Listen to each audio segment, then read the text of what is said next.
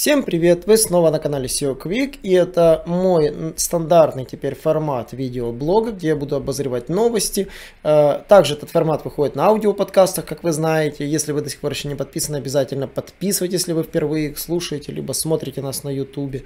И я бы хотел, конечно же, поговорить о свеженьких новостях, что произошло новенького в Гугле, э, что интересно изменилось и, собственно, чего ждать и как действовать дальше.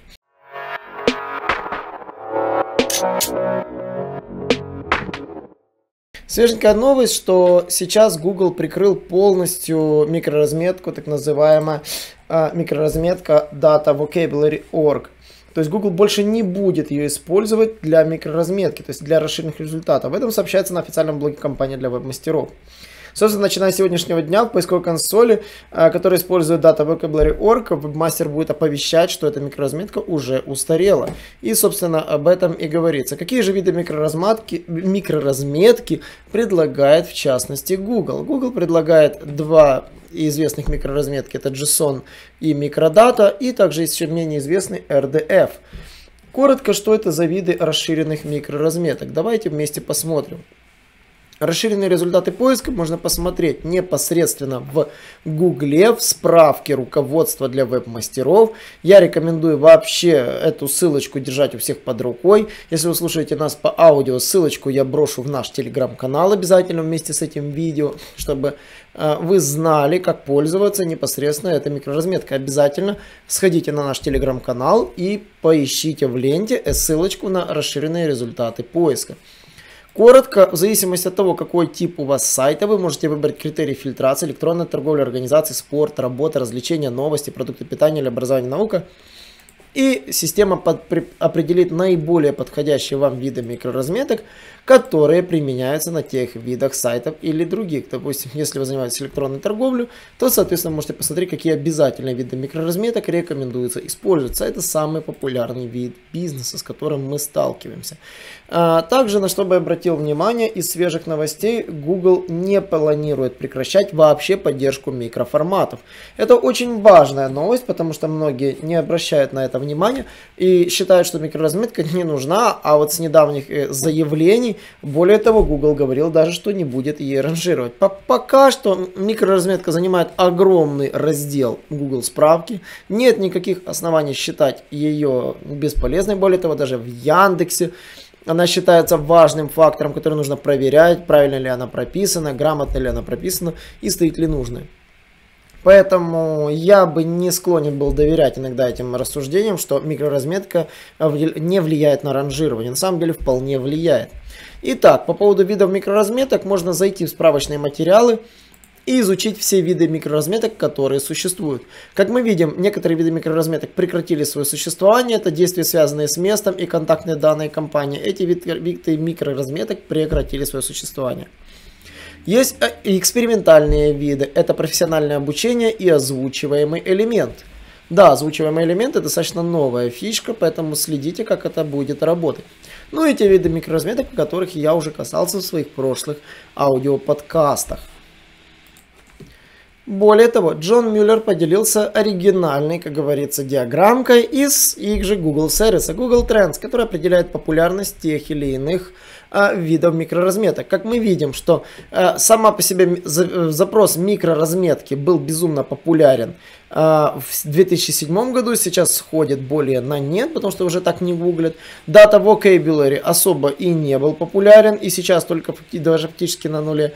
И, конечно же, схема ORG является лидирующим видом микроразметки непосредственно сейчас в Google. Мик э, микроразметка схема ORG также популярна и в России, и на то есть причины. В Яндекс Вебмастере схема ORG является основ основным видом микроразметок, на которые следует обратить внимание. Поэтому я бы не исключал схему org, не сбрасывал ее со счетов и ставил бы ее в первую очередь. Да, понятно, что JSON LD она более компактная, занимает код меньше места, но на текущий момент мы видим, что именно микроразметка, в частности схема org, она достаточно популярна и спадать не планирует.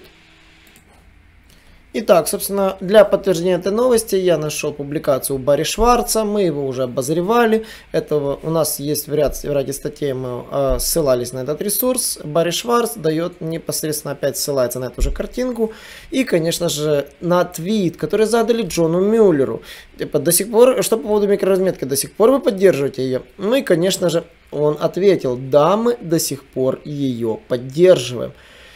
И, соответственно, тут спросили по поводу других э, микроразметок. И, собственно, что он ответил.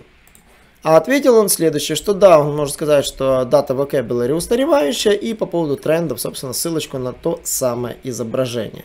Я хотел бы сосредоточить, чтобы вы понимали, что микроразметка это необходимый на сегодня тренд 2020 года. А, виды микроразметок на разные страницы рекомендуется ставить по максимуму. Гуглу нужно четко сообщать, какие типы страниц, какой тип контента на них находится. Очень важно правильно подбирать э, тип страницы и соответствующую микроразметку. Если это страницы определенного уровня вложенности, обязательно не забывать микроразметку хлебные крошки. Она просто это самая больная тема, ее часто забывают. Неправильно прописывают, из-за этого в выдаче урлы внутреннего ранга выводятся не очень красиво. И здесь я бы на это тоже бы хотел, чтобы все обратили внимание. Также многие путают разные виды, там, э, local business, company, они используются для разных типов сайтов, разные виды микроразметок. Рекомендуем изучить. Local business годится для сайтов, у которых есть физический филиал, Organization пойдет для некоммерческих организаций и тому подобное. Ну и как мы видим, если вы хотите узнавать свежие новости, обязательно пользуйтесь такой соцсетью, как Twitter. Это очень удобно, особенно если вы хорошо знаете английский. И SEOшник, вы можете следить за свежими новостями непосредственно в Твиттере. Вбив любой запрос в Твиттере, следите за свежими популярными твитами, которые обсуждаются. И также можно уловить непосредственно те трендовые записи, которые используют, допустим, те или иные известные блогеры, также тот же Барри Шварц, собственно, где его, о нем и столкнулся, и также на другие твиты, собственно, и Джон Мюллер, на которого я, собственно, и попал, и для подтверждения увидел тот самый скрин Google Trends. Твиттером удобно пользоваться, я рекомендую всем вам обязательно использовать Твиттер. В Твиттере вы можете найти много полезной информации, и по поводу других либо новостей. Но также не стоит забывать подписываться на наш канал, подписывайтесь на наш YouTube канал, на наш Telegram канал. Мы его начали активно уже сейчас развивать. И, конечно же, не забываем про аудиоподкасты, где эти все новости выходят достаточно оперативно. И вы можете всегда узнать свеженькие новости в Гугле, в Яндексе, в SEO и в контекстной рекламе, а также в социальных сетях. Поэтому оставайтесь с нами и до новых встреч!